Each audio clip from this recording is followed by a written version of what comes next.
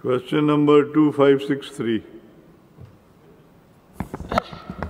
Sir, question number 2563. Answer may be taken as read.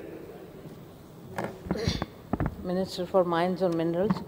ये question पूछा गया था कि it is a fact that a scheme of training of mining skills of displaced population of Sindh due to impact of climate change, Thatta, Tharparkar, Hyderabad, Karachi, Sakkar, Khairpur, Dadu, Sangar, Jamshoro, Badin, Ladkana is at preview of your department. Scheme तो बहुत ही अच्छी थी sir अब minister साहब जो जवाब दे रहे हैं उसके हिसाब से मैं सवाल पूछती हूँ कि मिनिस्टर साहब आपने जिन ट्रेनिंग के लिए बात की है आप बता सकते हैं कि ये जो कोर्सेज आप करा रहे हैं स्किल्स के हवाले से इनमें से किसी तीन कोर्सेज के नाम आप इस हाउस को बताएँगे? जो माइनिंग कोर्सेज सिंध हुकूमत करवा रही है, आपके पास ज़रूर इसके बारे में नॉलेज होगी। ये स्पीकर साहब, इन्होंने जो सवाल पूछा है, इस सिलसिले में माइंस डिपार्टमेंट की अभी हमने एक स्कीम ऐड की है जो ट्रेनिंग इन ग्रेनाइट माइनिंग वो माइनिंग पॉलिसी बनेगी, जो अब फाइनल स्टेजेस में है। और वो कैबिनेट के पास हम लेके जाएँगे कैबिनेट उसका अप्रूवल देगी फिर असेंबली से वो पास होगी।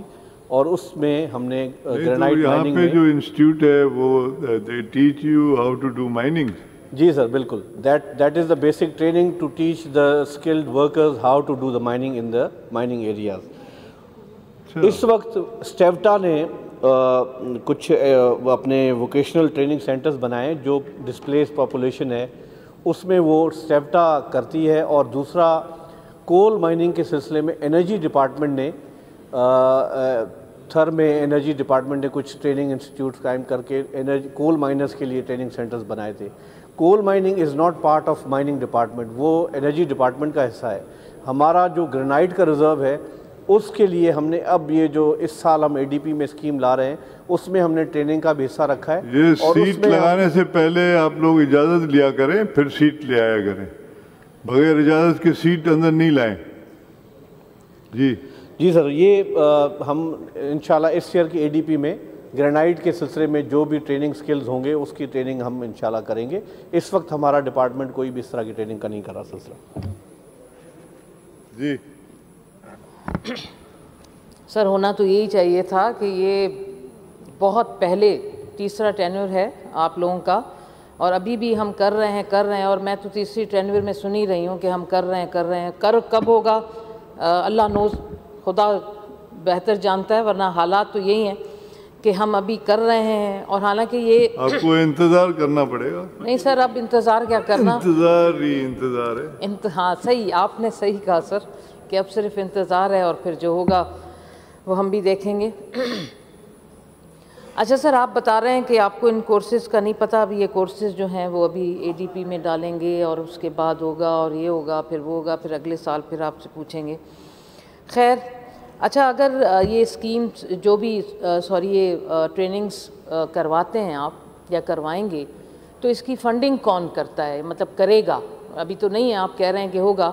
तो क्या वो माइनिंग वाली कंपनियाँ एंग्रो या दूसरी कंपनियाँ इसको फंडिंग करेगी? इस, जो भी आप इस कोर्सेज करवाएँगे।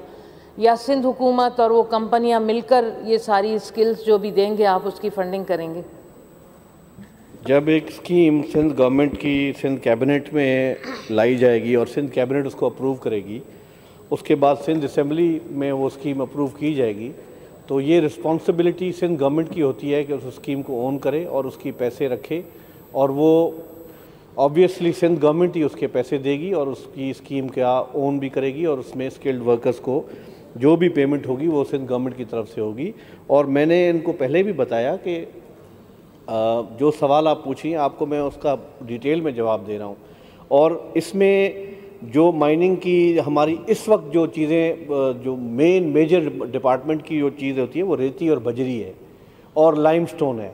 अब रेती बजरी को इस्तेमाल उसका जो स्किल्ड वर्कर करता है, वो शॉवल से करता है।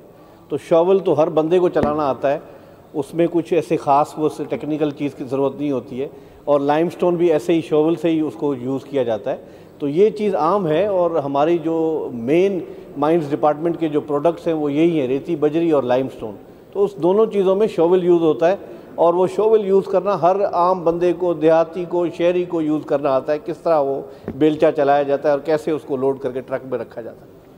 तो this is the basic training अगर ये सबको चलाना आता है तो फिर ट्रेनिंग की क्या बात होगी? फिर तो सबको खड़ा कर दें, पकड़ा दें बेलचा और वो। खैर तो अब आप बता रहे हैं कि जनाब ये स्कीम जो है वो आई कमिंग उसमें तो मुझे ये बताइए कि आप आपके पास कुछ ऐसा है अ, कि कमिंग जो भी बजट आएगा उसमें ये स्कीम आपने डलवा दी अ, या कुछ ना कुछ ऐसा ड्राफ्ट बनाया है जो इस असम्बली में बताएँ कि हाँ कमिंग जो भी बजट आएगा उसमें आपकी तैयारी है और इन ताला ये होगा और उसके बाद ये ग्रेनाइट के हवाले से ट्रेनिंग होगी स्किल्स होंगी और हमें हमारी सिंध को फ़ायदा होगा। बिल्कुल जी, ये स्कीम हमने तैयार कर ली है और उसको हमने फाइनल करके कैबिनेट के तरफ़ भिजवा भी दिया है और जैसे ही कैबिनेट कॉल होगी, उसमें सारे कैबिनेट के ministers with the approval of chief minister इस स्कीम को इंशाल्लाह टेकअप करेंगे और माइंस डिपार्टमेंट इसको ओन करके और इस साल के फाइनेंशियल ईयर में इसको टेकअप किया जाएगा और ट्रेनिंग स्किल्स के लिए जो भी ग्रेनाइट ग्रेनाइट की mining is a professional thing क्योंकि वो हमारा वहाँ पे जो कारुंजर का रेंज एरिया है, वहाँ पे जो माउंटेन्स हैं, वो बड़े टेक्निकल हैं। ऊपर से आपका पहाड़ है और नीचे आपके वो ग्रेनाइट के रिजर्व्स हैं। तो वहाँ पे हमें टेक्निकल तरीके से माइनिंग की ज़रूरत है और वहाँ ही पे हमने स्किल्ड जो माइनिंग वर्कर्स हैं, उनको हमने प्रॉपर ट्रेनिंग देनी है। उनके लिए हमने स्कीम के साथ ही ये ट्रेनिंग स्किल्स का एक प्रोग्राम रखा है, जिसमें हम ट्रेनिंग का एक अलग बजट रखेंगे, उसमें हम माइंस वर्कर को ट्रेन कराएँगे और फिर वो कारुंजर एरिया में जहाँ जहाँ अलाउ किया जाएगा माइनिंग करना, वहाँ पे हम उन वर्कर्स को अलाउ करेंगे माइनिंग करने की। थैंक यू ऑनरेबल स्पीकर साहब। अगेन मुझे नोट सप्लीमेंट्री हैंडसम मिनिस्टर साहब का